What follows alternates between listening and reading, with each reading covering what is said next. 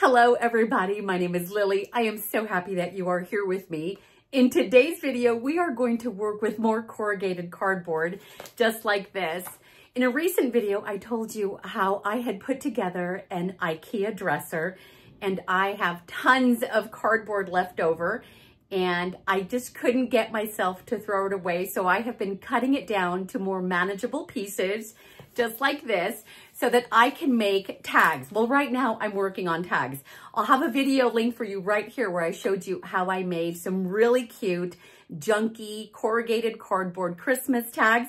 So go and watch that because I think they turned out really cute. In today's video though, we are going to make a different kind of tag that you can use for so many different projects and I'm gonna give you some ideas on how to do that. Let me grab them and show you how cute they look. These are the super cute corrugated cardboard tags that we are going to make today, and they are cute little snowmen. Look at them. We're actually going to work on these four right here. And here is another. Oh my gosh. I went through my stash of embellishments and decorated each one of them a little bit different. So you could take a look right there.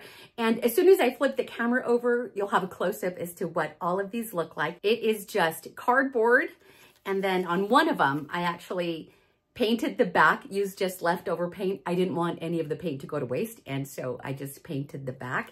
They turned out so cute. So these can be used so many different ways, not only just for your junk journals, but also to attach to Christmas presents. You can also just use them as ornaments. And then at the end of the video, I'm gonna give you a preview as to how you can use some of them. But super, super cute. I hope you enjoy this. So grab yourself some corrugated cardboard, some fun holiday embellishments or whatever you have, and let's make some really cute tags.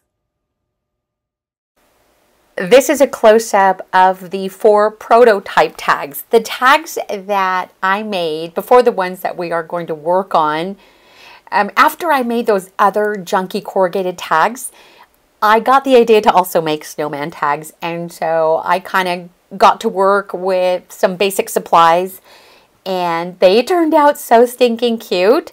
But I'm going to walk you through and we're going to go through the entire process and we are going to build ourselves four little snowman tags. They are so cute. For these, I used a velvet ribbon and then they all share the same black buttons. These are black buttons that I purchased at Dollar Tree. I did some punch out hearts. And these actually have little orange carrot noses. I'm not going to add them to the new ones because these actually, to me, they look like little um, snowman chicks, like little birdies. Those little, my triangle or my carrot noses look more like beaks than they do carrots. And so I opted to leave them out in the four that we are going to make. They look cute either way. I, I love each and every one of them. Okay, so I have cut down some corrugated cardboard even to, to a more manageable size. And so that's what I've been doing with all of the cardboard. So now I am going to rough draw some circles in the shape of snowmen and I'm going to do four of them on this strip of cardboard. And we're going to do some easy doodling or easy drawing.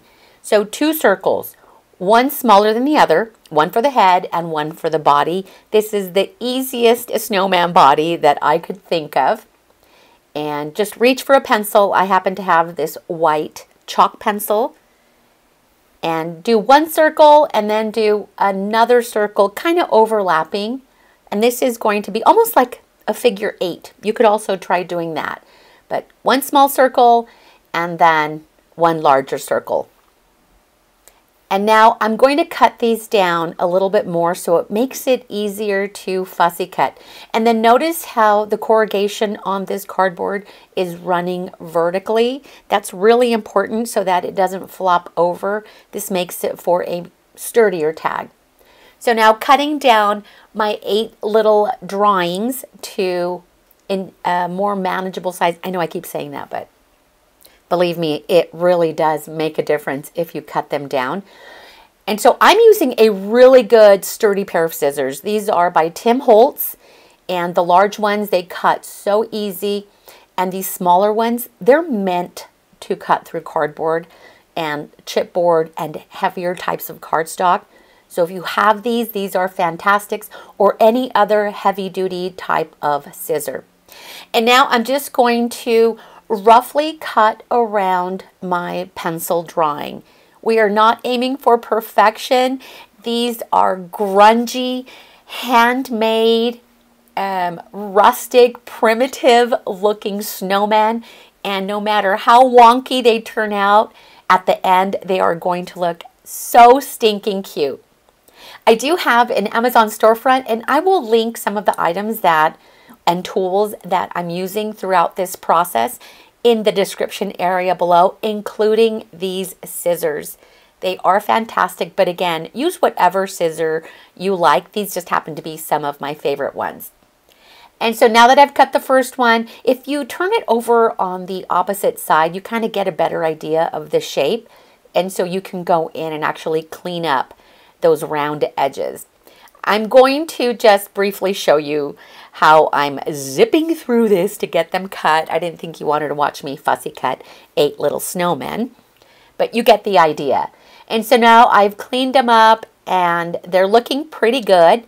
And now the next step, we are going to take the top layer of the corrugated cardboard. We're just going to peel it back to expose that corrugation. And you don't have to take or remove every little bit of paper, that top layer. You can leave some of it on the cardboard and that makes it look even more rustic and it'll, it'll actually absorb some of the paint even better. So do as much or as little of the peel back as you want.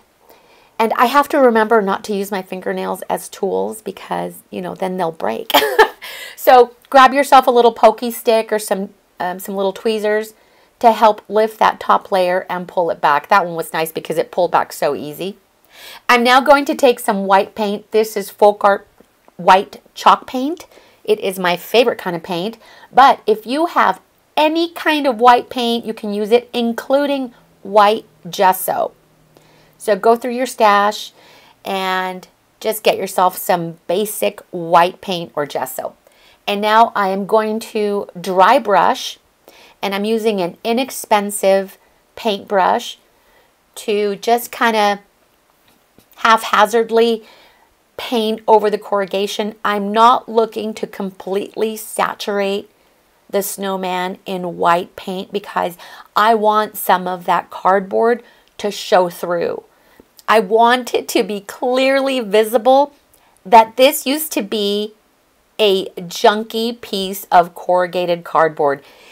I just absolutely love trash to treasure projects and I try to repurpose everything. I see potential in everything and so I try to make something out of it. I had a little bit of leftover paint. We are not going to let that go to waste like I mentioned earlier. So I am just spreading the leftover paint on the back of one of the snowmen. I actually really like the way this turned out. And in hindsight, I should have done it to all four. But moving forward, I will be doing that, including to those other tags that I made in a previous video. So now I'm going to quickly air dry it and now I'm going to give it a layer of Mod Podge. This is a 64 fluid ounce container of Mod Podge that I have had for five years. I've put it in a smaller container just because it's easier to use. Because we are going to use some glitter. I know some of you have a love-hate relationship with glitter. I absolutely love glitter. All the sparkle, all the glitter, all the twinkle, give it to me. I absolutely love it. So I am going to do one layer of this Mod Podge glue over the painted snowman. And I'm using another very inexpensive paintbrush and giving it a quick layer of the glue. If you don't have Mod Podge, you can actually use white glue. You can even water it down just a tiny bit. You don't want to get the cardboard too wet. And give it a thin coating of white glue or Mod Podge or matte medium. Again, let's go through the supplies that we have and use them up. So now I'm going to sprinkle some of this clear chunky glitter. I picked this up at the craft store in the clearance section and it was a great deal. I think I paid just a little bit over a dollar. And so now I'm sprinkling over the glue I'm going to do that to all four of them and then set them aside. I'm going to shake off the excess. And I have this green tray that I picked up at the Dollar Tree. It's actually a little lunch tray for, um, for children, I believe. But I thought it would be perfect for me to use in my craft room. And of course, that neon green, that chartreuse color is my favorite. so why not? Giving it another quick dry with my heat tool. And now I am going to give it a top coat of the Mod Podge. And this will seal the glitter. And I think that's why a lot of a lot of you may not like glitter because it just you'll have glitter, you know, everywhere the rest of your life. I don't mind the glitter, so I don't care if I have glitter all over me. but if you don't want the glitter, add a top layer of the Mod Podge and that will actually seal in this glitter and it makes it kind of chunky, looks like snow. It makes it even more dimensional. And so it is optional, but I really like the way it kind of keeps that glue, the glitter in place. Giving it a quick dry with my heat tool. And when I say quick, I mean quick because the glue dries fairly quick. I've already prepared all of my embellishments. I have this cute, cute snowman Christmas winter dish that I picked up at an antique mall recently. I placed all of the embellishments that I plan to use to decorate the little snowman. I have flat back pearls, some flair buttons, Dollar Tree black buttons, also some little gems that I've had from close to my heart for a long time, and then some punch out hearts. I'm going to decorate each one a little bit different. Notice how in the first four that I worked on, they're pretty much the same, but as I started going through my embellishments, I had so many options. This is my favorite glue. It's called the Ultimate Glue. It is non-toxic.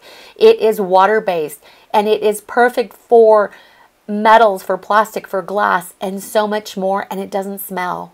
You know, it just, it does not stink up your room like other glues do. And I absolutely love it, especially for heavy embellishments. It is absolutely perfect. These flair buttons already have a sticky back, but I want to make sure that these buttons do not fall off. Whether I choose to use these to top off some Christmas gifts or my Christmas tree as ornaments or even to include in my junk journals, I want to make sure that all of the embellishments are secure. And that is the reason I like to use a very strong adhesive. And this Ultimate Glue is fantastic. This is another favorite tool of mine. It is called a Crystal Katana. It is a little picker-up tool. It has a wax tip and then a pokey tool. Perfect for picking up small embellishments like sequins and buttons and even those little paper hearts. This works perfectly. I have used other pickup tools in the past. You can even use a crayon, which I demonstrated in a previous video. But it just makes it nice and easy to use this. I actually forgot that I had it and I had it uh, packed away for years, I maybe seven or eight years, but I'm going through my stash, I'm moving things around and just trying to use up the tools and the supplies that I have. Use what you have. So now I'm adding the little embellishments as buttons. So some are literally buttons and others I'm going to use some of these really pretty flat back pearls. And I kid you not when I tell you that this glue will keep your embellishments in place. And I like that it dries clear as well. So, so beautiful. And now I'm going to add some of these really cute floral gem stickers from Close to My Heart. You know, every time I say Close to My Heart, it just it's bittersweet because I really love the Close to My Heart um, product line, so it makes me really sad that they had to close. But I'm glad that I still have a lot of embellishments and product from Close to My Heart that I can use in my projects. So with the little pokey side of my Crystal Katana, I will attach the little stickers. And even though these already have adhesive on the back, I'm adding a little bit more glue just to really make sure that the embellishments adhere. And in this one, I'm using three. They are a little bit smaller. You can add as many buttons as you want. Two, three, four, five. You are going to build your snowman and have your snowman look however it is that you like. Have you ever built a snowman? It's a lot of fun, but it's a lot of work. I mean, like a real, like using real snow. and now I'm going to add a little heart. So snowmen, they just melt my heart. And then snowmen with hearts, I mean, it, you, it can't get any better than that. It just literally melts my heart to see snowmen with hearts. So I thought I would just uh, join the two together. I'm taking some scrap red cardstock, actually not scrap, it, it was a brand new sheet of red cardstock that I've had in my stash and this beautiful heart punch stamp or punch that I've had from close to my heart for a long time. And I'm going to add some glue. I'm using some little tweezers to hold it and to add the glue. But first, let me open the bottle of glue. It's important that if you do use this glue that you close it or um, tighten it back up after each use or it just clogs and then you have to run it under warm water to clear it. So if you have this, just make sure you seal it tight after you're done using it. And now adding the little hearts, and you can position your heart wherever you want. Some I've actually done a little bit higher than others. I like the longer heart better than the than the smaller hearts. All the hearts are cute, but for this project, the longer hearts I like, but I am going to use one of the, the medium-sized hearts on that last snowman. I love all the hearts. But some projects, you know, need a different heart. so cute. And now I'm going to add the little eyes. And for this, super easy, I am grabbing just a regular office hole punch, some black cardstock, and I am going to punch out several of these little holes to make my little eyes. Adding two little drops of glue. On this first one, I glued the eyes down kind of wide. And you'll see right now, I don't like the way that looks. So I'm actually going to go back and fix the eyes. I prefer the eyes to be kind of closed, or excuse me, closer together than wider apart. and you'll see I notice it when I add the second set of eyes to this snowman. They're just so much cuter when they are closer together. Look at the cute little face. These right here, yeah, I didn't love it. So luckily the glue was still wet and I'm able to reposition the eyes. Had it dried, I would have still taken it apart and corrected it. So adding all of the cute little eyes to the cute little snowman face. And now the next step, I am going to add an eyelet to the very top of the tag and I'm going to punch out a hole with my Crop-A-Dile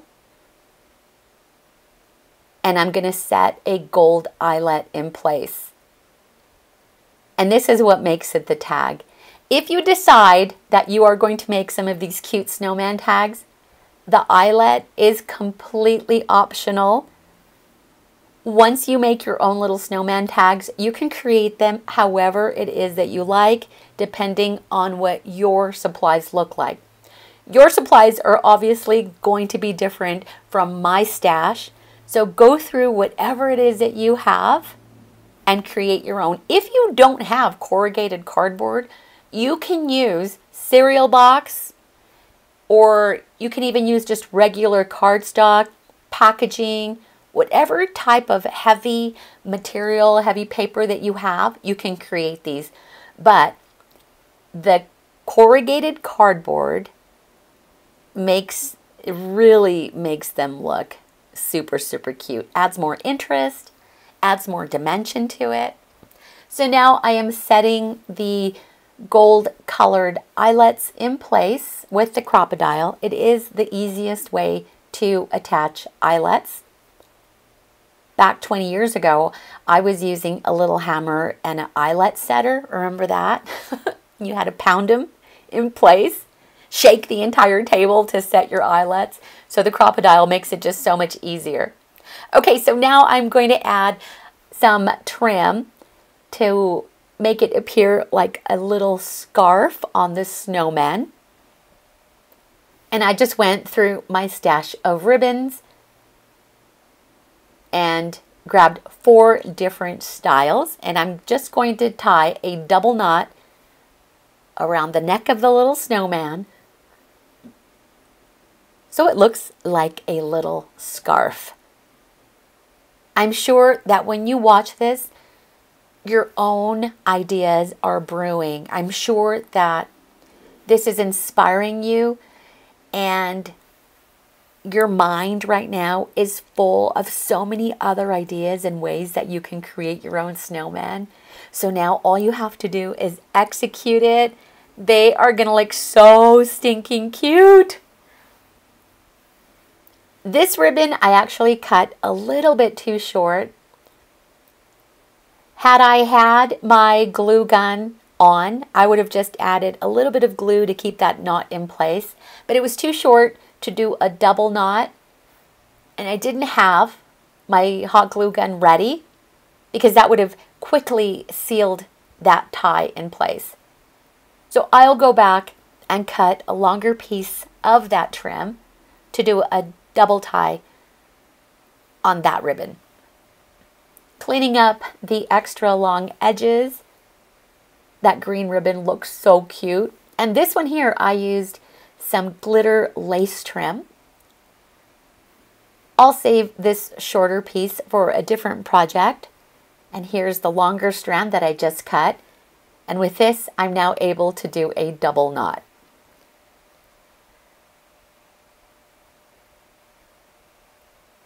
I will be making so many more of these because I plan on adding some to my Christmas tree and stick around because I'm going to show you what my Christmas tree looks like. It's not your traditional Christmas tree. It's a little bit different, but because I have limited space, you're going to get a kick out of my tree. I'm just now starting to embellish it. So my Christmas tree is not done, but I want to show you what it looks like with these cute little snowmen hanging from it. But I will be making more because I am adding these to the Christmas journals that I am working on. So each, each journal will include one of these. I'm now grabbing some twine to add the tie and I'm just going to thread it through the eyelet. And this is old Stampin' Up! twine. I have had this for years. I don't think I've ever used it. This is the first time I've used this twine. Can you believe that? I have no business going to craft stores and buying more supplies. I just have to shop my stash, you guys. So I need to go and just open drawers and boxes and just use the stuff that I have. And so doing a simple knot to tie the twine. Oh, I just love how each one of these turned out. So, so cute. Out of cardboard. True trash to treasure. It's my favorite thing to do.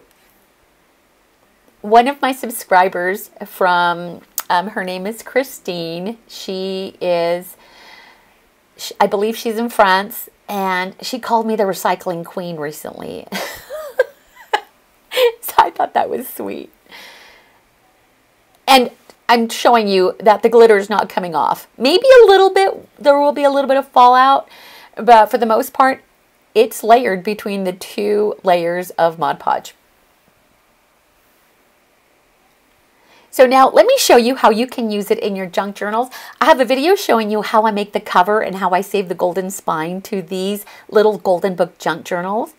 So these are the journals which will include one of my snowman corrugated tags and I will simply attach it to one of the pages with a paper clip or somehow dangle it from the top. I'll figure it out when I get to that point. I may even just attach it to the heavier cardstock, which I like to use on the uh, fronts of the signatures. There are two signatures in these journals. And so the snowman is a little bit heavier and so it may do better on the cardstock. Another option is you can use these tags as toppers on your journals.